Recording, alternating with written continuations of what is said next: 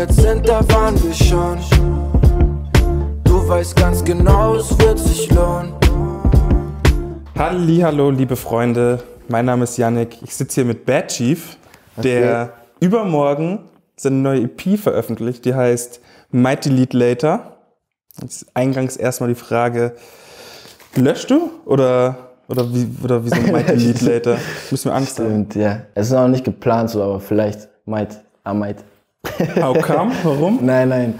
Der Titel ist mehr so generell eigentlich daher gekommen, dass es so ein bisschen die Generation widerspiegelt, in der wir gerade sind, wo die Leute einfach viel zu viel Einflüsse bekommen von, von Social Media und denen eigentlich die ganze Zeit nur gesagt wird, so, du bist nicht gut genug, du bist irgendwie das Bild, was du hochgeladen hast, den Song, den du gemacht hast, das Video, was auch immer, was du eigentlich feierst, ist cool so, aber ähm, Du bist du siehst, selber. du siehst plötzlich auf dem Post daneben, dass jemand noch mehr Geld hat und noch ein geileres Mhm, Bild gemacht hat, dann fühlst du dich wieder unsicher und willst es wieder löschen. Mhm. Also ich meine, dieses zu viele Einflüsse von außen, nicht dafür stehen, was man eigentlich macht, äh, einfach generell dieses schwammige Hin und Her die ganze Zeit. Ich habe voll das Gefühl, dass du irgendwie auf der EP viel mehr Preis gibst von dir als zuvor auf eine Art und irgendwie mehr auch so äh, Songwriting-mäßig nochmal anders an die Sache rangegangen bist, nicht mehr so metaphorisch, sondern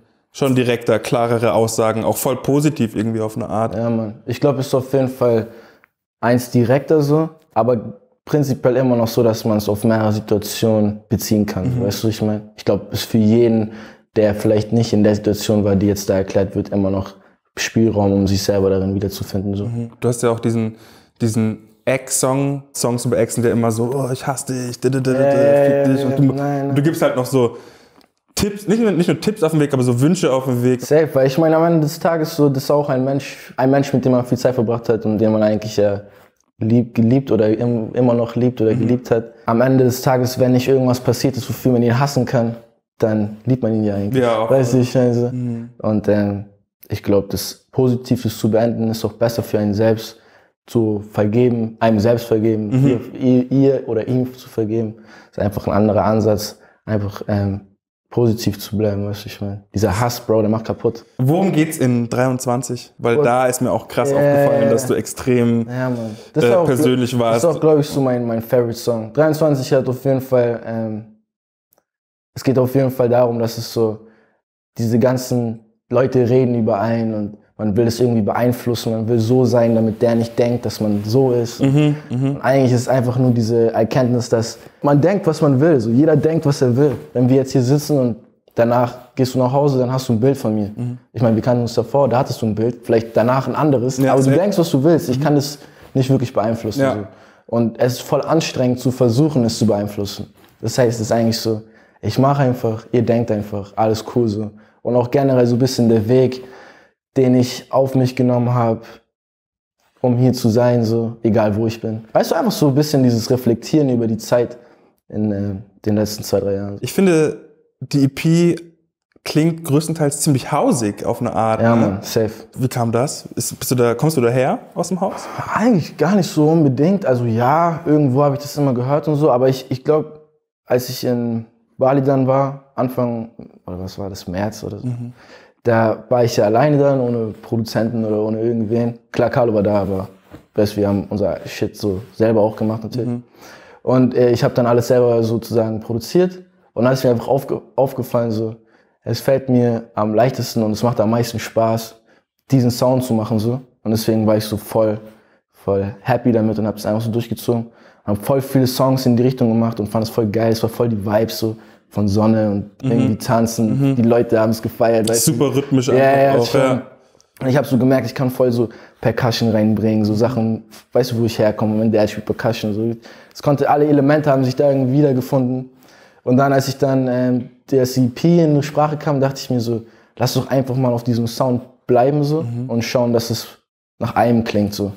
Weil das ja ein Projekt eigentlich an sich haben sollte. So. Und deswegen, ich glaube, ist das auf jeden Fall dieser elektronische Vibe, safe, der Main Sound. So. Ich habe mich auch gefragt, ob das irgendwie ein bisschen mit deinem DJ-Tum zusammenhängen könnte, ob da auch irgendwie, weil du legst ja auch auf, ne? Safe, safe. Also DJ-mäßig bin ich auf jeden Fall gerade auf dem Film, dass ich ähm, Richtung House und Elektro und so gehen will, weil es über Bock macht. Also das Auflegen ist auf jeden Fall. Warum macht das so Bock? Ich glaube, weil das atmet länger so. Die Übergänge. Aber ich relativ früh schon so auch in Elektroclubs und so und habe immer gemerkt, wie die Leute plötzlich anfangen zu schreien, wenn die Musik leiser wird. So die jubeln dann alle und so. Und ich dachte so, boah, crazy bei Hip-Hop, wenn die Musik einmal aus ist, fangen alle Schreien an. auch zu schreien, aber so, hey, was machst sowas, du? Ja. Hey DJ! Und so. Bei Elektro sind alle einfach nur gut drauf und haben Bock und Hip-Hop auch natürlich. Aber bei Elektro habe ich das irgendwie so wahrgenommen, weil ich auch nicht so oft jetzt auf Elektro feiern war oder was. Das ist einfach auch eine andere Energie, habe ich das Gefühl. Andere ne? Energy. Und ich war einmal, das, ich war, glaube ich, erst 16 oder 17. Da war ich in Brooklyn auf einer Rooftop-Party. Meine erste so Elektro-Party. Und ich komme da hoch, hatte gar nichts erwartet, nur auf Hip-Hop, weißt. Und dann sehe ich so diese ganzen Leute, wie sie so im Sundown mit den ganzen Skyline so überdancen. Und ich war so, boah, das ist krass. Das sind andere Vibes. Außerdem auch ohne wirklich Vocals, weißt du, taugt mir auch manchmal einfach, dass jemand, die nicht die ganze Zeit irgendwas ins Ohr redet, sondern es einfach mal so ruhig ist. Ja, Mann. Verstehe. Inwieweit hat Bali äh, den Sound beeinflusst oder vielleicht auch dich oder den, den Text? Ich glaube, der Abstand von, von Deutschland generell so und von allem, was hier passiert, von meinem normalen Umfeld, von den Einflüssen aus der Szene direkt, von den Einflüssen von meinen engsten Leuten, Familie und so, die waren ja auch alle nicht da so. Und ich glaube, das war so in der Zeit wahrscheinlich die pureste Version von mir, weil ich war einfach alleine so. Also ich Karl und alle waren da. Natürlich hatte meine Leute da, aber so die Leute, die mich wirklich täglich umgeben haben, die, die Sachen, die mich täglich umgeben, waren nicht da. Und dann war ich so das erste Mal so und dachte mir, ey, cool. Die Einflüsse nehme ich und wie gehe ich damit um? Die Sachen, weißt du, du, weißt nicht, was morgen ist, du weißt nicht, wann Bali wieder aufmacht, wann du nach Hause kannst, Dings. Stimmt, ihr wart richtig locked up. Ja, Ne? schon. Das heißt, die Sachen sind alles so, was, wie du es nennen willst.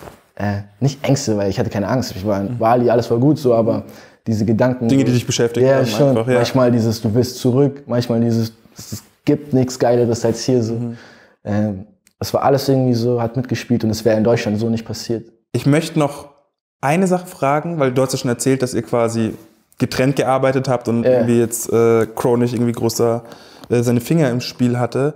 Aber ich habe da trotzdem ein Feature rausgehört. Und zwar bei Film, glaube ich. Kann es sein? Edo Saya. Ach, krass. Ja, Mann. Edo Saya ist drauf. Edo Saya ist auf Film. Das war irgendwie im, äh, kurz bevor ich zurückgeflogen bin. Ah, habe ich gar nicht erkannt. Crazy. Ja, Mann. Kurz bevor ich zurückflogen, hat er mir ähm, geschrieben gehabt, ob, er, ob ich auf sein Album will. Da habe ich einen Part da gemacht und dann habe ich ihm einen Song, habe ich ihm einen Film geschickt.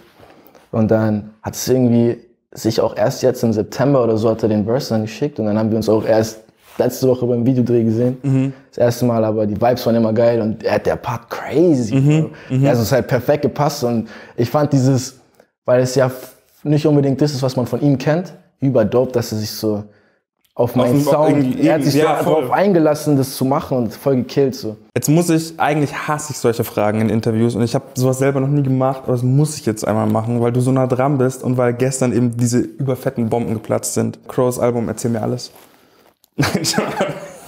Ähm, Gibt es irgendwas, was du erzählen darfst? was willst du wissen? Ähm, inwieweit bist du involviert gewesen? Generell. Ohne jetzt hier Features zu Ja, erzählen. ja, ne? generell ist es so sein Album, sein Project und er produziert alles selber, er schreibt alles selber, macht alles selber. Also ich meine Verlauf, ich weiß nicht mal, ob der drauf ist. Ich Mhm. denke mal schon, weil das ist ja. Das ist so geil, das ist so mysteriös alles. So, ähm, Verlauf haben wir dann sozusagen ähm, zusammen gemacht oder beziehungsweise Feature gemacht. Ich glaube, dass äh, das generell alles einfach viel mit Vibes zu tun hat und daher wir zusammen dort waren und ein Großteil der Songs auch dort, ich weiß es nicht mal, welche Songs jetzt letztendlich drauf sind, aber von denen ich weiß, passiert sind, als ich da war, glaube ich, meine Funktion wäre eher so, wenn er, wenn er irgendwie wissen wollte, wie da, da, dann ähm, meine Meinung einfach geben und meinen Input geben so. Aber Und einfach so kre- als kreativer, ja, einfach so äh, als so kreativ. Bouncing Ball mäßig. So einfach einfach, so, ja. das könnte man vielleicht noch machen. Dann sagt er nein. Das könnte man noch. Dann sagt- er ja. Weißt Mhm, du, du weißt gar nicht genau, was am Ende. Das passiert einfach so. Aber natürlich mainly ist es sein Ding und sein ähm, Dings. Ich finde es aber voll schön, dass, ähm, dass es bei euch so ist, dass ihr da so. Ja, ich glaube, Ne? das, das Schöne daran ist eher für mich zu sehen, dass jemand wie er, so eine Legend für mich oder für Deutschland, ähm, obviously, ähm, mich so respektiert und meine Meinung so viel Wert drauf legt und ähm, das auch hören will, weißt du, ich meine, der fragt mich dann, was denkst du? Aber zeugt ja auch einfach nur von deinem Die auch, Skill ja, aber ich meine, es ist auch Respekt, weißt du? Ich meine, es gibt Ja. viele Artists so, wo man das vielleicht nicht bekommen würde, weiß ich nicht, vielleicht schon. Oder die dann in ihren Ego-Filmen äh, ja, oder und er ist Ja. auf jeden Fall 100% down mit, ähm, er will es wissen und er hat Bock darauf und es ist äh, die Position an seiner Seite dafür akzeptiert zu werden, ist auf jeden Fall eine Ehre, weißt du, wie ich meine? Mhm, mhm. ob ich jetzt da irgendwie groß was gemacht habe oder nicht, das interessiert dann auch niemanden so und ist auch gar nicht wichtig. Aber allein so dabei sein zu können und ähm, appreciated zu werden und wichtig zu sein, ist auf jeden Fall immer schön so. Da würde ich jetzt erstmal einen Punkt hintermachen. Das klingt doch gut. Dann äh, bedanke ich mich recht herzlich. Übermorgen kommt dein Tape, Ja, Mann. dein EP. Ähm, ich freue mich sehr drauf, wenn die anderen Leute das jetzt auch endlich hören können. Ja, Mann. Ich wünsche dir viel Spaß, viel Erfolg weiterhin. Euch auch Gesundheit und Blessings, Alter. Auf jeden Fall. Und einen guten Rutsch. Wir haben jetzt bald äh, einfach schon 2021. Boah, hab ich Bock, dass 21.1 besser wird. Ja, Mann. Von der Weltsituation her, Mann. Hoffen wir mal das Beste. Safe. Bis dahin. Danke, Mann.